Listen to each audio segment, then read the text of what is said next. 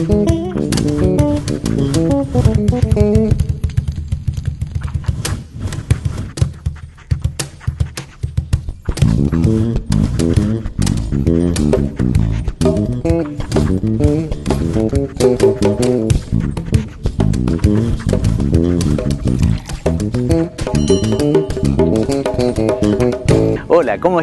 Bienvenidos a otra edición del Asadito. Hoy nos encontramos en la ciudad de las Cataratas, una de las maravillas naturales del mundo, en Puerto Iguazú. Precisamente en el Hotel Amerian, Portal del Iguazú, en este majestuoso hotel. Y para hablar con una persona que es artista, durante varios años se dedicó a la pintura, hoy vive en Puerto Iguazú y se dedica a pintar nuestra naturaleza. Realmente imperdible. Prepara el asadito de hoy Meg Glover.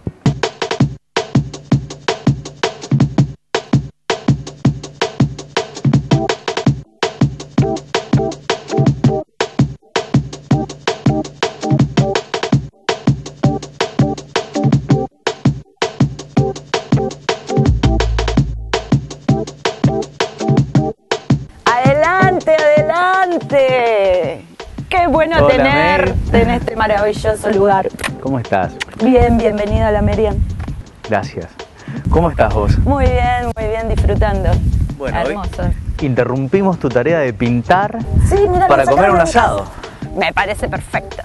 ¿Qué tal te llevas con esa comida? Eh, me ¿Sos encanta. Especialista en el asado o no? Hago asados. ¿En serio? Hago asados, sí. Decime que tenés alguna técnica especial para preparar el fuego. No, no, hago fuego, va saliendo.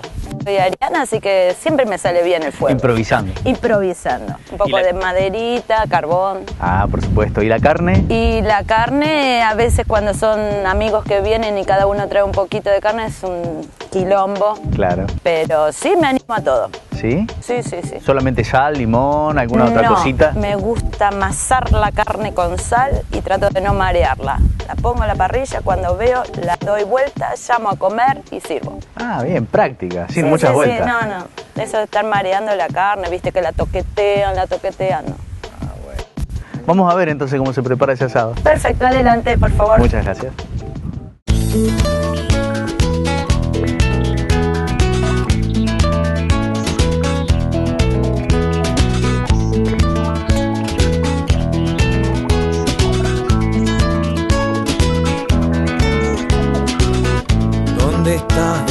Te fuiste, duendecito con sombrero?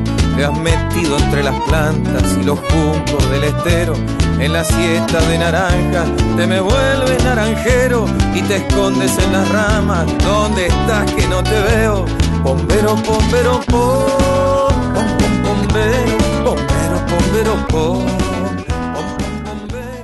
Bueno, Meg, la verdad que tenemos un día espléndido con un poquito de viento, Me encanta. pero no hay sol, ideal para sentarnos en este espacio. Para caminar, para tomar un- una cervecita por ahí, ahora un vinito. Un buen Chateauvieux de Bodegas López que distribuye JB para la provincia de Misiones. Nos Ay, va a acompañar color, en esta charla. Y por supuesto la picada que contiene quesos de Ilolay y embutidos Campos San Isidro. Estamos completitos. Oh, me siento homenajeada. Bueno, nos alegramos mucho. Te invito a que Muy pruebes un pedacito de queso con el salamín y me contás después el sabor mientras escuchamos el consejo del chiselier. Mm, El pan también es muy importante a la hora de degustar un queso al natural. Los panes blancos o rústicos se combinan estupendamente con el conjunto de quesos. Aunque si queremos dar un toque de originalidad, podemos incorporar panes de cereales o integrales, además de los panes especiales para canapés o panes tostados. ¿Qué tal estuvo ese queso y el salamín? Es riquísimo y la mandioca frita también me encanta. Bueno, salud, Salud. por este encuentro, por el día que nos ha tocado y bueno, por poder encontrarnos para hablar un poco de lo que estás haciendo y de tu vida. Meg, sos cantante, danzas, hiciste algún tiempo también danzas Sí. paraguayas y ahora, bueno, en los últimos tiempos estuviste trabajando mucho en la pintura. Sí, eh, ya en forma profesional, son más o menos 20 años que trabajo como pintora y, y trato de ganarme la vida con eso. No me puedo quejar porque siempre tengo suerte de vender mi trabajo, eh, algunos más decorativos, otros más eh, ya subiditos de tono en, en- Claro. en calidad de, de obra. ¿no? Siempre representando la naturaleza. No, o sea, Misiones eh, hizo maravillas conmigo. Misiones me dio la excusa para usar el color eh, a mi antojo. Y entonces me hice más conocida con el tema de la pintura de las plantas o los grandes árboles, estas grandes telas, eh, ya multicolores. A veces ya creo que voy a quedar daltónica porque tanto color. Pero se nota que te encanta esto. Me encanta, me encanta. Misiones me salvó la vida. Bueno, hablemos un poco de tu historia. ¿Dónde naciste? Yo nací en Mendoza, de bebé ya me llevaron a la provincia de Buenos Aires, me crié en Verazategui, mm, en el medio entre Capital Federal y La Plata, el sur. Eh, ahí hice mi primaria, parte de la secundaria, no terminé, bueno, la secundaria por eh, otras cosas que surgieron en la vida. ¿Es verdad que ya a los 10, 9 años comenzabas a pintar Eh, y ya te querían Comencé comprar las obras? Sí, y- vender ¿En a los serio? 12 años a modo de estos cuadritos infantiles de que hacía a la vez de, de tarjeta, souvenir, que la, la gente... Bueno, me pedían mucho también para hacer tarjetas para casamiento. Te querías casar y tu invitación querías que no sea... Claro. Ahora hay mucha eh, tecnología para imprimir y todo, pero hace 30 años atrás Eso no estaba.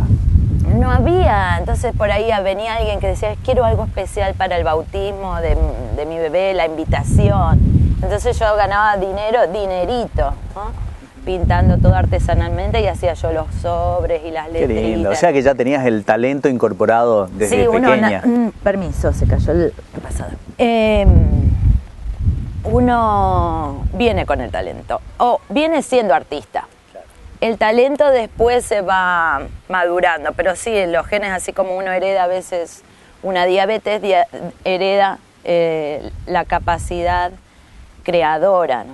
Eh, o no sé, la- esta inquietud, esta especie de Hablando de herencia, Sí. ¿papá y mamá tenían algo que ver con el mundo Mi artístico? mamá fue concertista de piano y mi papá ahora es poeta. Ah, qué lindo. Fue marinero. bueno. Entonces no es de extrañar que vos no, tengo tíos, actores, eh, escultores, también hay médicos, qué sé yo. Pero sí hay una beta artística y de mucha lectura también en mi familia. Bueno, hiciste danzas paraguayas. Sí. Pues Tu mamá es paraguaya, ¿no? Mi mamá es paraguaya y mi papá es hijo de españoles. Qué lindo. ¿Cómo es eso de hacer danzas paraguayas en Buenos Aires? Eh, había el club del barrio, el hogar paraguayo. Yo vivía en una comunidad de exiliados políticos paraguayos, que es esa parte de Verazategui, que está lleno de una comunidad grandísima de paraguayos. Entonces la, la capilla Virgen de Cacupé, la escuela Claro. República del Paraguay y el club social Hogar Paraguayo. Así que ahí entré a los 8 y a los 10 años me invitaron para ser la mascota de la compañía. Siempre menudita, bajita, con la sonrisa. Y era así una especie de demonio. Y nada.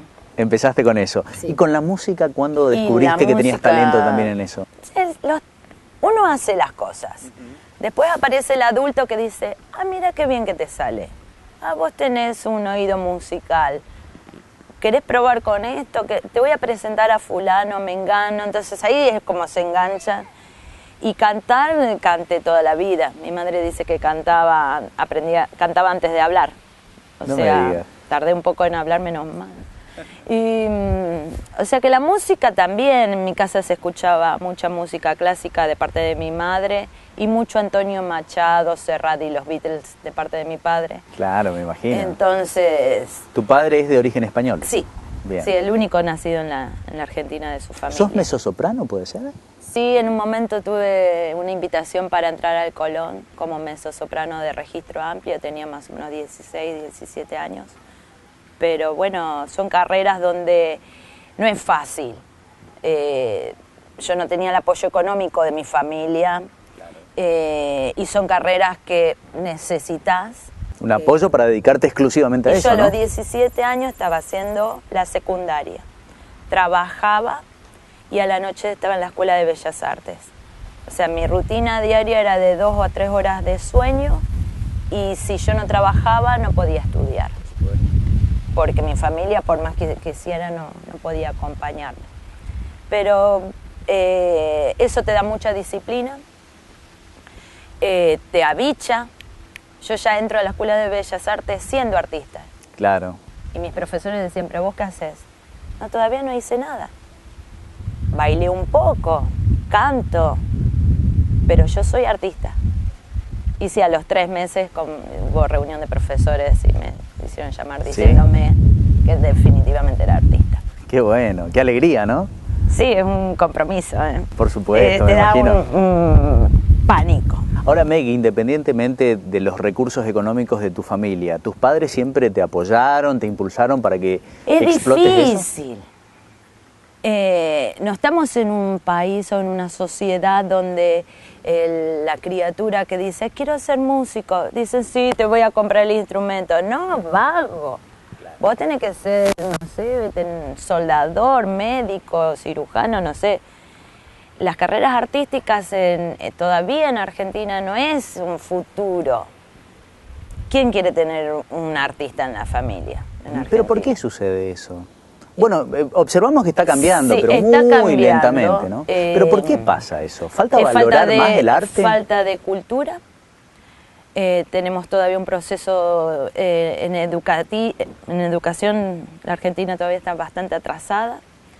Después Argentina tiene una historia de mirar afuera. No miramos nuestros valores, sino que siempre es mejor recibido el de afuera. Y, y después, eh, sí, son tiempos capitalistas, son tiempos donde el arte, ¿el arte para qué sirve? No sirve para nada. ¿Entendés? Claro. Solamente el, eh, es eh, el modo más tremendo de usar nuestro cerebro. Eso es el arte. Bueno, ya vamos a hablar de eso y seguramente vamos a poder observar algunos de tus trabajos, pero sería, si bien dijiste que haces vuelta y vuelta al asado, hay que controlarlo de vez Sí, en cuando, por ¿no? favor. Ay, decís que hay un muchacho joven y bonito que me está ayudando. Bueno, vamos a controlar el asado. Dale, vamos.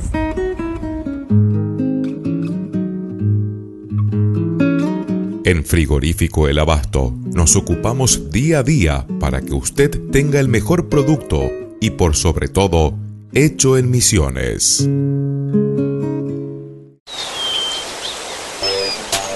Vení a conocer. A disfrutar. Aristóbulo del Valle. Está bueno sentirlo. Temático Selva Viva y Espíritus de la Selva. Tres Fronteras, 780 a 150 metros.